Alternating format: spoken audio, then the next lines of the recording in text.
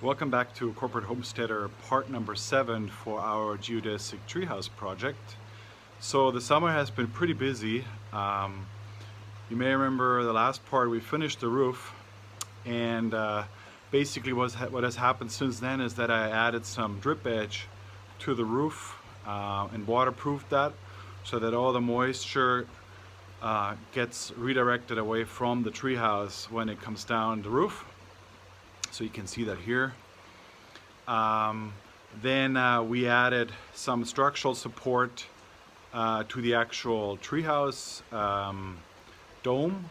Uh, I used to only have like 2x4 support and now I added actually 4x4 beams on all 15 uh, touch points where the triangles are coming down.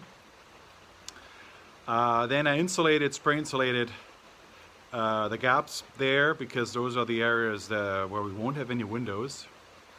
And then uh, I added caps, uh, drip edge caps to the to the 4x6 main joists that hold it all together, uh, making sure that those are not exposed to the elements uh, and last a long time. I also added um, that green paint at the, at the ends so that it's all nice and sealed. And the last thing I just did uh, this weekend was actually adding a drip edge on the octagon platform. Uh, so, uh, and filled up basically the, the areas between the treehouse, like the dome and the octagon edge with the drip edge with tar, like a, uh, one of those leaky roof sealants. And uh, here's the result.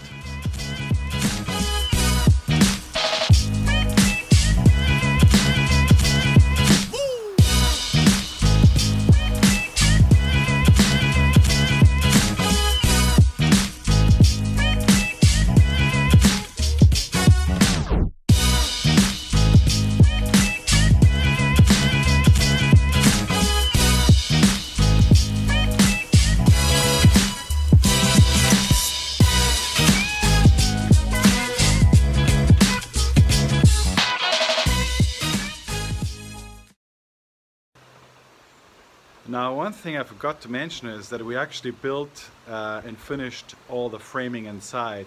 So there will be a washroom, uh, three-piece washroom, and there will be a second floor where the beds and the sleeping areas will go.